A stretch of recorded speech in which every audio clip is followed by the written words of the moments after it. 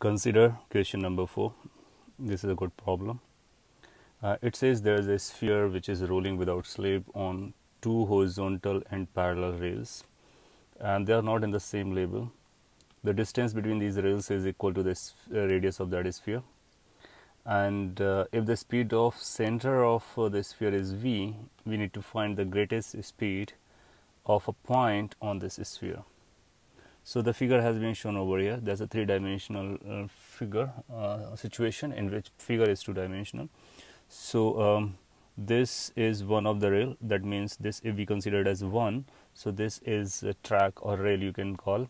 It is running perpendicular to the screen, and uh, that's a horizontal. Similarly, another horizontal rail is running from here to, which is again uh, perpendicular to the screen and uh, parallel to the first and both are horizontal but they are not in the same label. So that means this is uh, one is on this label second is somewhere in this label.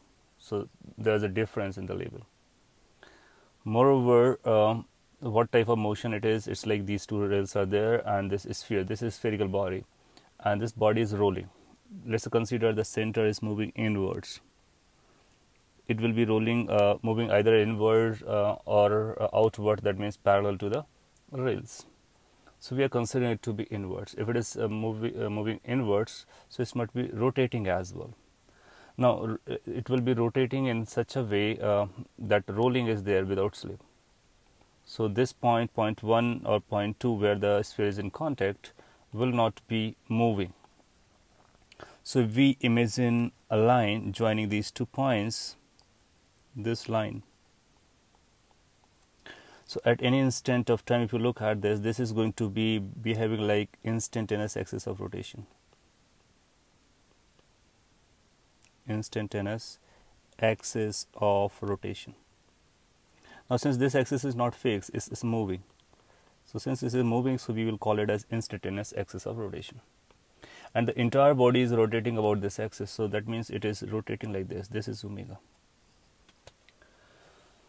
Now, uh, if you have understood this, so we can think of this is uh, about uh, axis about which the entire body is purely rotating. And uh, we can have some constructions like this. Uh, we can join this to the center. This is going to be equal to the radius.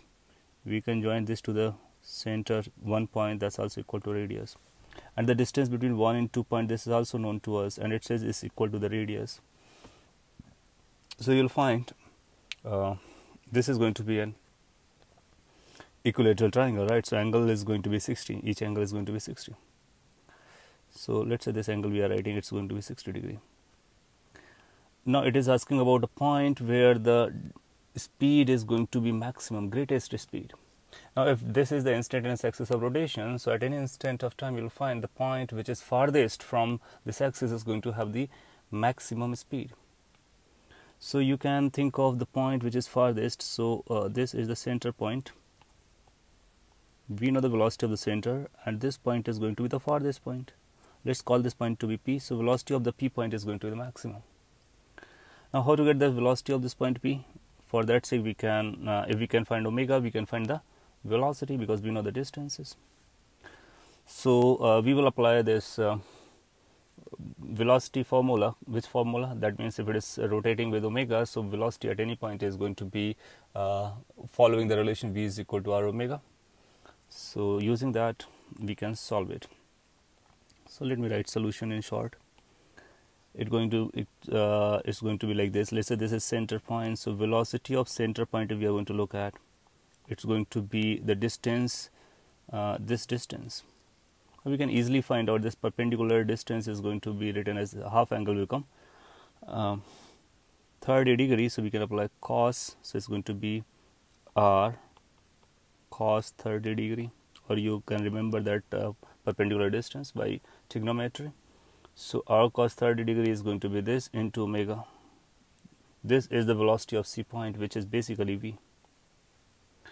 Now we are interested in writing the velocity of p point so that's going to be basically r cos 30 that's going to be there and moreover this distance this distance is going to be equal to the radius. So total distance is going to be plus r omega this is the velocity we are looking for, velocity of p point.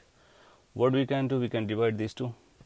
when we divide these two we will get some sort of this like v divided by vp is equal to omega will get cancelled out r will get cancelled out so cos third is going to be root 3 by 2 divided by root 3 by 2 plus 1 after simplification you can write it as like root 3 divided by root 3 plus 2 so this will give the velocity of the p point which is the maximum velocity among all the points of the sphere. And it's coming as v times within the bracket root 3 plus 2 divided by root 3 or you can simplify like this v within the bracket 1 plus 2 by root 3 so that will become the maximum velocity of a point on that sphere. And hence this is our answer. Okay? Thank you